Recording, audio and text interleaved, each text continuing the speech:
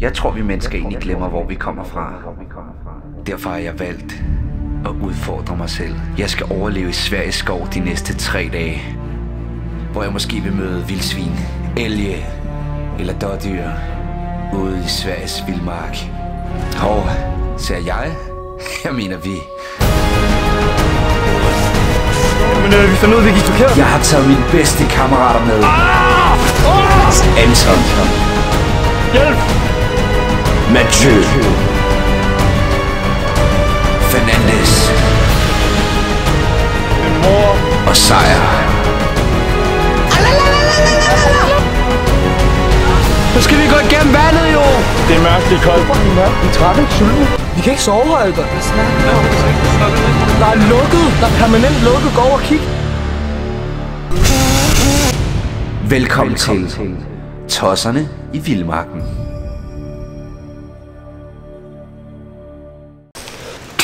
Godmorgen og velkommen til endnu en ny dag. Jeg er som sagt taget herop i Sveriges vilde skov for at overleve i tre dage sammen med nogle af mine bedste kammerater.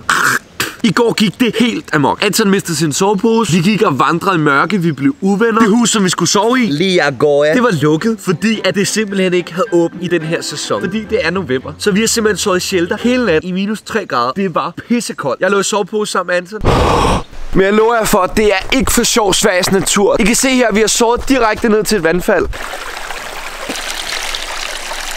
Men jeg lover jer for, at man bliver helt frisk af at sove i naturen. Bortset fra, at vi har ligget og frosset hele natten. Men vi har overlevet, og det er det, der er vigtigst. Prøv at se, hvem der også har stået op. Hvad så, Nandas?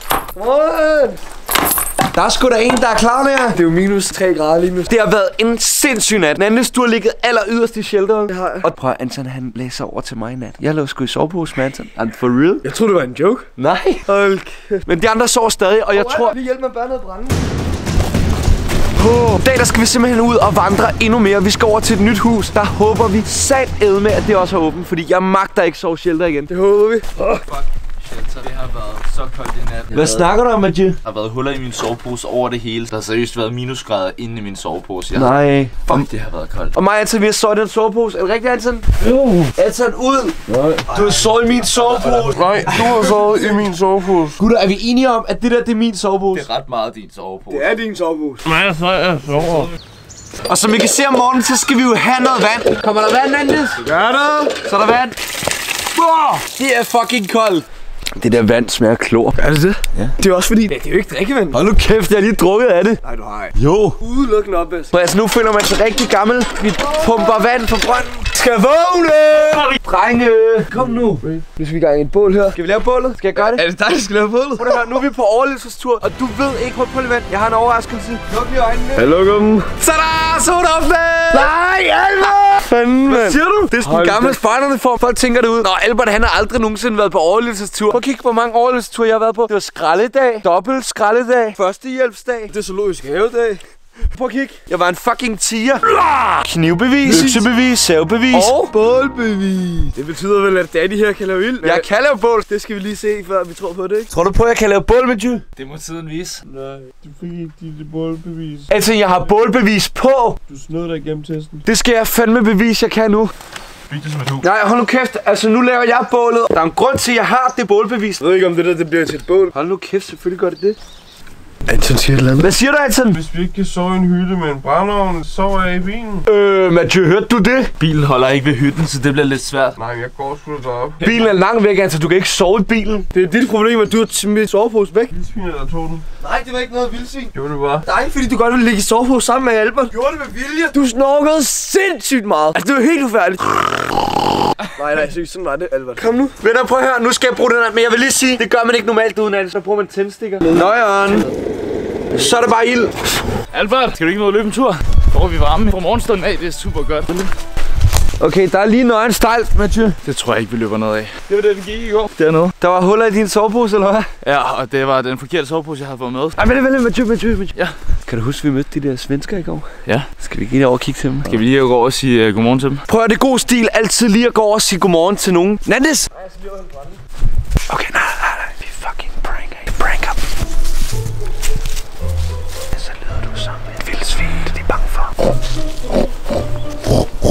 Helt sikkert, der er et vildsvin. Hallo? Miley? Jeg tror, de er væk. Jeg så, de var der lige. Molly, skal vi åbne? Miley? Miley?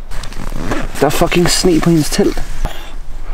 Nøjeren, det har været koldt her i nat. Bro, bro. Jeg har en bedre prank. Jeg hopper ind i deres telt, og så når hun kommer tilbage, så gemmer du dig herover og så bliver du forskrækket. Okay? Det er en god idé. Det gør vi. Nu kravler Anton ind i øh, deres telt. Mathieu? Ja, er vi klar på det her? Mathieu, så pranker vi en sgu.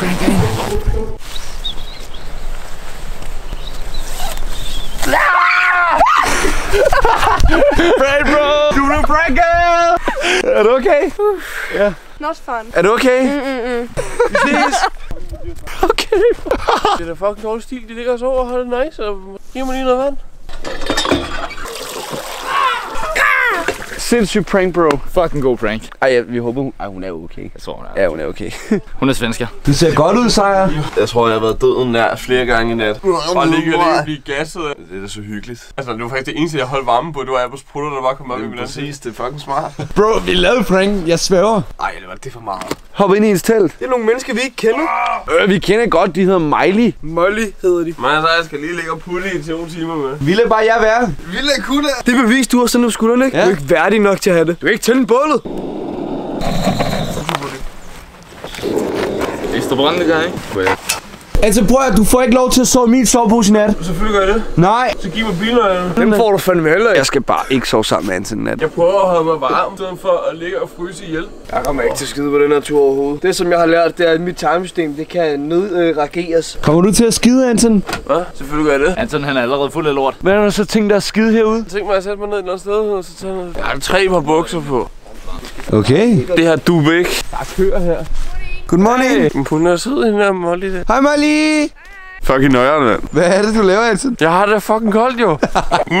Eller tag lige et screenshot af Anton og læg det på Instagram. Det er 1 grader, dreng. Det er jo nærmest sommer. Drenge, den svenske pige nakker vores vand. Ja. Mm. Kom her. Mm. Øh, er, er du sikker Ja. på, at man kan drikke det? Nej, Det smager altså klor, det gør. er godt. Vi har fundet en svensk pige. Så fik vi lavet damer alligevel, gutter. Ja. Hej. Hey.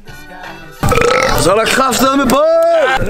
Sådan der ser det ud, når jeg laver bål. Grøt. Så får vi lige noget havgrød der. Havgrød. Hvad spiser du med, Jy? Kold rugbrød smadrer. Kommer der en svensker? Har du fået ud at tage nogle billeder? Prøv ikke ham her, ikke? Han har meget mere kameraudstyr end os. 60 pictures per second. Wow. 50 millimeters. Han stod op klokken 7 for at tage billeder af solen. Respekt. Follow me on Instagram, Jonathan Stanvold Photography, jonathanstanvold.com Og det er svenske billeder. jonathanstanvold.com Perfekt. Har du også en hjemmeside, du lige vil promovere? Uh, no. Husker du det, Anton? Jeg kan ikke huske det hele. Jeg skal ind og ride på konen. Pas på, er der sted? Ej, det er en fucking tyr. Men altså, vi gået lidt ud i Sveriges vildmark for at finde nogle øh, dyr. Vi har fundet to køer. Prøv at ride ved den, der kan gå der. Det er overlevelsestur. Tyre kan sgu da ikke lide rød og lyserød. Ej, hvor er den nøjeren. Fucking tyr der. Åh, oh, det var det billeder. Den kunne finde på at stakke mig også den der. Altså, det går bare gået ind på en eller anden mark. Fucking grim. Den ligner en hest. Jeg gider da ikke klappe den. Han er kommer til at få stille til. Okay, okay, okay. Bror, hvis den kommer tættere på den der, så, så har løbet ud bag det der hegn, der er lige bagved. Og når man kigger den direkte ind i øjnene, ikke, så ligner den altså en djævel. Det er fucking nøgen. Nej, nej, nu, nu, Ej, du så ikke, hvad der skete der. Den rettede ryggen, stampede sådan i jorden. Det der, det kan stange os. Altså, den kigger bare på mig. Kom tættere på, med Den kan sgu da trampe mig ihjel. Du skal røre den med pinden. Det kan sgu da ikke have nosser, når det er en dame. Nej, nu kommer tyren virkelig tæt på, synes jeg. Nandes! Jeg kommer, gutter, jeg kommer. Dreng, ved du, ved du, hvad det er for nogle dyr, det her? Det er svenske bjergkøer. Nej, Nandes, Nandes, lad være. Nej, lad det. Deres horn, de kan spide dig ihjel. Dreng, nu har vi kigget nok på dyr. Vi skal ud og vandre nu. Øh. Seriøst. Nu er vi simpelthen smuttet fra huset og er kommet ud og vandre. Det er fucking fedt. Så dejligt. Det er hårdt. Albert, Albert, prøv lige at se den skrænd, vi har her. Kan du prøve at rulle ned ad den? Jeg filmer, så gør du det. Seriøst? Albert, han skal ned og rulle. Ah, gutter, er det ikke nøjeren, hvis jeg ruller hele vejen ned? Nej, du skal bare stoppe. Det er jo fucking farligt. Der er 100 p3, du rammer på vejen, som kommer til at stoppe dig. Det tror jeg altså også, Albert. Hold kæft, den klovn han er med. Kom så. Er I klar? Ja. Albert! Super sygt. Slog du dig? Jeg ramte ind i en eller anden sten eller sådan noget. Mener du slog dig? Ja, jeg. Nå, hvad man ikke gør for vloggen, var. Vi skal øh, over til en, øh, en hytte nu den her gang. Håber vi på at have åben. Kom nu, franskmand. Drengene, de har fundet et eller andet helt sindssygt. Vi har fundet nogle mennesker, der sidder nede på klippen og spiser. Der sidder nogle mennesker nede på stenen. Ja, det er helt sindssygt. Nej, lige her. Lige der. Hej. Beautiful. Okay. Det er fuldstændig sindssygt. Jeg vil ikke engang turde gøre det der. Hej. Hey. Hey. Bye bye.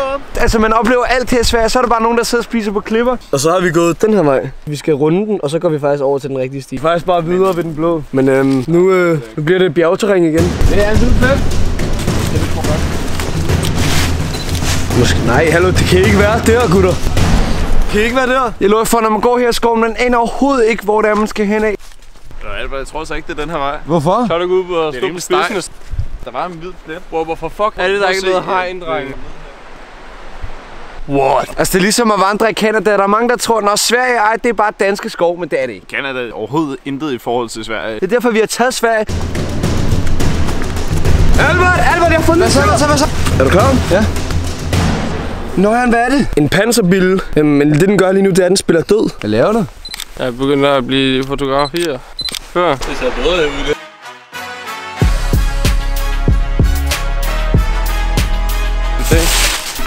er mega hårdt at gå, kan jeg godt fortælle jer. Det er vigtigt, man overlever. På en og nu de andre bagved. Hvad er det, der er foran nu, hva'? Er det mig?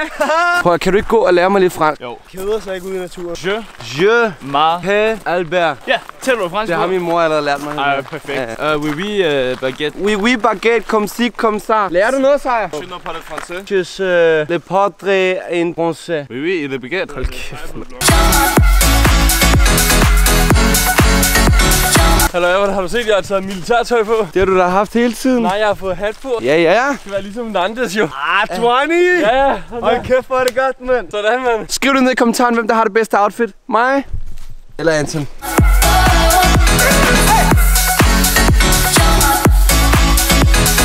Hvad er det, du synes, jeg gør? Du snorker absurd højt. Du snorker fucking højt, Albert. Jeg kan ikke beskrive, hvor højt du snorker. Prøv at høre, i nat jeg lå. Jeg var bare sådan, ah fuck Albert. Ej, hvorfor tog I med på den her tur? Hold kæft, jeg slår mig ihjel. Jeg var klar til at tage bilen og køre hjem med det samme midt om natten. Uden mig, uden dig. Pågående skovskytsel.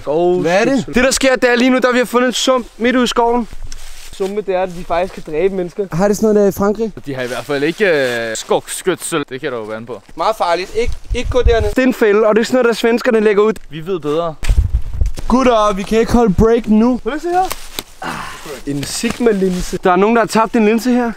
Det er ikke dig, vel, Tony? Nej, jeg har ikke set, men det har jeg ikke råd til. Det er du heller ikke. Nej. Der er nogle andre, der har været ude og vlogge. Jeg har hørt historier om, at den her sti her, det skulle være vloggernes dødsti. Og det, det er herude, der faktisk er fl- flest dødsfald øh, herude i den her skov. Um, det kunne være en vlogger, der har været død herude. Nøjeren, det er monsterfarligt. Altså, vi så det der med, at der var hakket ind, at Anton han skulle dø. Det er rigtigt. Det Tror jeg, det er noget med Anton at gøre? vlogger. Anton, hvad hvis det er noget med dig at gøre det her? Han er jo ikke rigtig vlogger. Hvad hvis der skulle have stået Sigmanton? Sigma er... Sigma Anton? Sigma er faktisk uh, oldgræsk for uh, Anton. Nej. Er det? Det er seriøst for noget. Nej, hallo, jeg skal ikke røre den her. Nej, nej, nej, nej. Du bringer uheld! Kan vi finde vejen, Anders? Ja, selvfølgelig. Hallo Anton. Du har også været spejder nogle år jo. Tre år. Fik aldrig de der bevis der. Fik kun øh, det der madbevis. Altså madbeviser for at spise. At spise smis mad i spejderlejren. Sådan, Anton. Sådan. Lad os gå videre. Drik pause, gutter. Skål. Skål. Hvor er vores vand? Hvad? Tog det jeres egen vand med? Jeg har haft to flasker vand med. Nej, det er har fået mig, Albert. Der er ikke noget vand til jer. Det er andre lederen. Hvem er lederen? Fernandes. Det er Fernandes dog. Skal vi lade det komme an på prøve? Okay, okay. Fint. Gutter, er I klar til at se, hvem der fucking er lederen? Er du klar? Ja! 200 liter. Bedste en. Kniv. Kniv. Nå. Sten. Der er ikke noget kniv. Det er sådan noget. Men der er jo ikke nogen grund til, at I skal slås.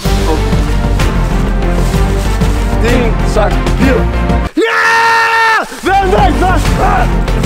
Okay, så vandt han sejr, men du synes, jeg skulle vinde, ikke? Ja, det ved jeg er en rigtig leder. What? Hvad sker der, sejr? Okay. Hvad sagde du derude? Er jeg en rigtig leder. Jeg en rigtig leder. Drenge, slap af! Vi krammer også. Tænker, vi skal også have fundet et gruppenavn. Okay, og jeg synes, vi skal hedde Team Vildmarkens. Vilddyr. Vi hedder altså rensdyrene. Nej, vi hedder sgu da ikke. Det er sådan nogle svanser, der går i skoven. Og... De skulle da på talet. Hvad vil du hedde, Anton? Mufasa Crew. Jeg synes, Vildmarkens Vilddyr det er et rigtig godt navn. Lederen har talt. Team Vildmarkens Vilddyr! Hvad sagde du, Sejr? Jeg sagde vildmarkens vilddyr. Ja, Albert, jeg siger det, hvorfor det er, vi skal hedde rensdyrene. Hvorfor? Det er, fordi jeg elsker rensdyr. Ja. Vi skal over broen. Kom nu. Får du langsomt. Kom nu, Albert. Det er jo hårdt, gutter. Den, der, den er faktisk kendt som ungdommens kilde. Drikker man af den, så bliver man øh, for evigt ung. Jeg skal altså tisse nu. Nej, du tisser ikke i ungdommens kilde. Nej, det mener jeg. Shit, den er gammel. Jeg kan se hytten! Den er herovre. Yes! Mathias, hytten er der! Lige der, mand. Hytten er der! Anton! Yeah! Yes! Så er vi sgu frem. Så vil jeg lige få det hytten. Yes. Han står her ved. Står her Ja, ja. Luksus det her. Så fandme i hytten. Det er fandme bedre end at sove i shelter, så fryser vi ikke i nat. Satan, Albert. Hvad?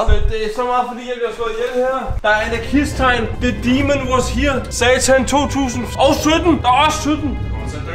Altså, vi skal ikke sove i samme sovepose i nat. Jo, hvis der er en demon. Nej.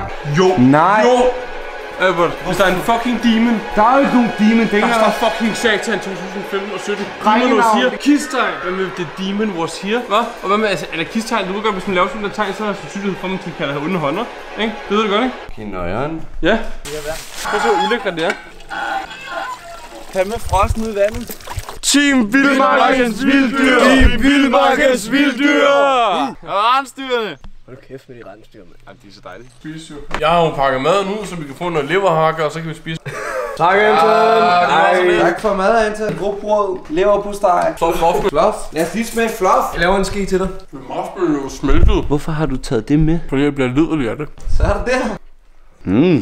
Jeg fik jo madmærket, fordi øh, jeg, spiser alle andres mad i lejren. De der voksne der i det spejllederne, de synes, det var sådan, så jeg var sådan lidt mærkelig, så gav mig bare et mærke i stedet for. Men husk gutter, Anton han skal lige nå at spise, inden han nu skal... Nej, det snakker vi om.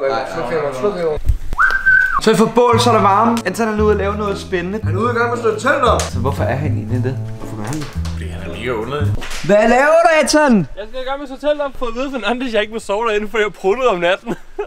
Også fordi så skal mig og Anton heller ikke sove sammen. For at være meget glad for, at jeg sove sammen med dig igen. Det var fandme ulækkert. Men Anton, er det ikke... Det begynder at regne lidt nu. Ja, det er jo fedt. Så kan jeg ligge inde i teltet, så jeg ikke bliver våd. Okay. Du kan da også bare ligge ind i hytten. Det må jeg jo ikke. Og jeg lytter på, hvad lederen siger. Jeg har slået de her telt op på Roskilde cirka en milliard gange før. Men mens Anton han lige slår telt op, så tænker jeg simpelthen lige, at vi giver en lille rundtur. Vi kan se her. Hvad laver du, Anton? Jeg er halvt færdig. Right here. Luksus room tour. Jeg ved jo godt, I tænker, ej, det er jo ikke øh, kæmpe luksus. Her, så er der to toiletter. Kan man selv bestemme, hvad der er herre- og dametoilet. Se. Fy, for kan lugte det. Puha. Fy for sat. Altså, jeg skal ikke derind og skide. Nej, det bliver sgu nok Jeg kender en, der skal ind og skide, og han står og laver telt, ikke? Ja. Tony. Ja. Så har vi en brønd ligesom sidste sted. Den her hat, den giver mening nu. Nu er jeg rigtig bundemand. Sådan der. Hvad laver du? Så har vi hjulpet Anton, så Nej, med, med, med, med, med, Første rum, lille udesnue. Det er tis. Fy for satan. Det er sejr. Hvad fanden er det? Vi kan komme i bad. Nandes, der er bad. Jo, kom og kig. Der er bad, kig. Regel nummer 328. Man går aldrig i bad på en vildmandstur. Medmindre det er en sø, selvfølgelig, ikke? Vi har... Ja, altså, det er her, vi sover, men vi vælger at sove inde ved pejsen. Jeg skal lige sige, at det er åbne hytter, det her. Så midt om natten, altså vi kan ikke vide det, men der kan bare komme random mennesker. Morder, voldtægtsmand. Jeg aner ikke, hvor mange kilometer vi er inde i skoven, og der kan komme hvem som helst. Der er ikke låst eller noget. Han er fandme hurtig, ham Anton. Ja. Roskilde Pro. Hvad er det, Anton siger med, at det er dig, der har smidt ham ud? Det var fordi, han pruttede jo. Nå. Anton, Anton han prutter. Der er jo masser af plads til Protesnorkeholdet. Og så hernede, der har vi simpelthen vores helt egen have. Uh. Altså, det her, det er vores hemmelige bålsted. Ja. Ej, nej, nej, nej, nej, nej. Vi har jo lækker, lækker floden lige herovre. Bliver man lækker at drikke den? Prøv at høre her. Nandes, jeg synes, det er så irriterende, at han skal være leder. Jeg må også vide det. Ikke noget. Lad os sige det lige til mig. Det- Vi synes bare, det regner rigtig Vi synes meget. bare, at ja, det regner. Lækker floden. Nej, er det den? Ja, det er den. Det er jo den fod, man bliver lækker af. Ja. Føler I jer lækre? Jeg føler os så lækre nu. Er det rigtigt, Nandes? Jeg har aldrig følt mig så lækker. Jo, men nu, åh, ja. men nu er vi tilbage på hjemmebane. Nu er det salami. Hvad siger du? Lars. Lars. Og vi har jo faktisk en overetage her ovenpå.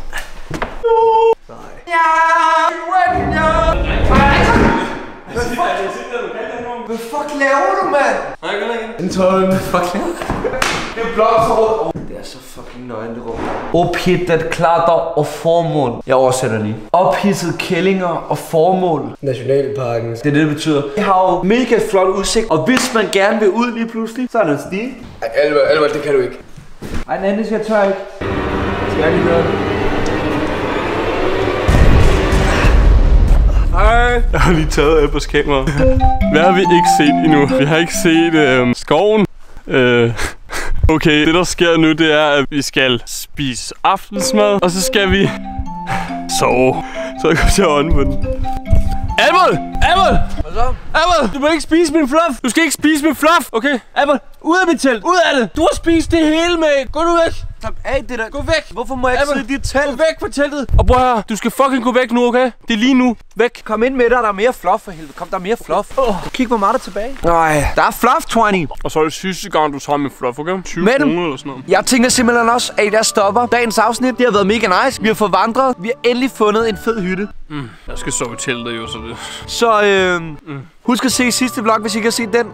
Og det her kan I se i næste afsnit. Vi ses, ha' det godt, hej! Vi ses. Jeg sover her.